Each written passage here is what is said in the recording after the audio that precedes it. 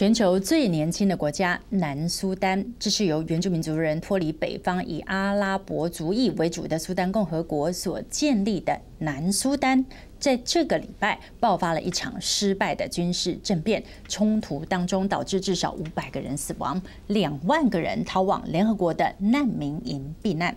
起因就是丁卡族的总统基尔在七月之间，在努尔族的副总统马查尔表达要参选二零一五年的总统之后，就直接解除了这位副总统职务。没有想到，不但爆发政治风暴，还引发种族紧张，美英等国纷纷撤离侨民。趁着白天，住在联合国难民营的南苏丹民众外出采买食物跟日用品。独立三年多的南苏丹十四号传出政变，政府指控一群效忠前副总统马查尔的部队企图用武力夺取政权，但随后在政府军镇压下宣告失败。不过短短几天的流血政变，造成至少五百人死亡，八百人受伤。联合国难民营的收容人数也暴增到两万人。with UNMISS as, as it fulfills its protection mandate, including in the provision of basic relief to civilians in need and in conducting human rights investigations into allegations of human rights abuses in recent days. I count on President Salva Kiir's leadership at this critical moment. 被指控跟政变有关的马查尔是南苏丹独立英雄，极具政治影响力。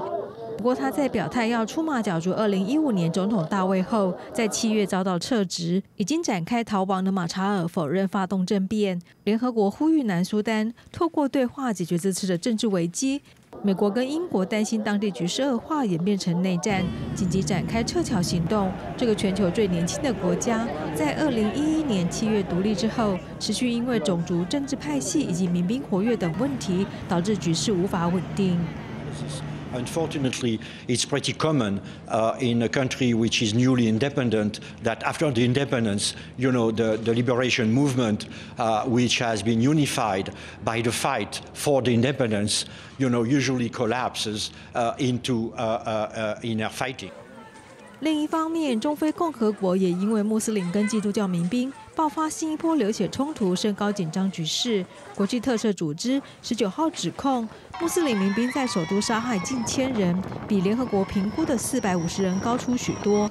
因为这波冲突流离失所的民众也已经达到二十一万人，当中儿童的状况令人担忧。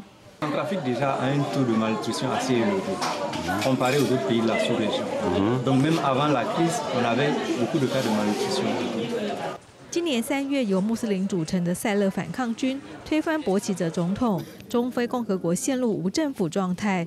中非的前殖民宗主国法国，在联合国安理会授权下，派遣一千六百人部队前往维和。不过这两星期，宗教冲突加剧，法国向其他欧洲盟邦求援。很快将有其他欧盟国家的地面部队进驻当地，协助解除民兵团体武装。记者陈秋梅报道。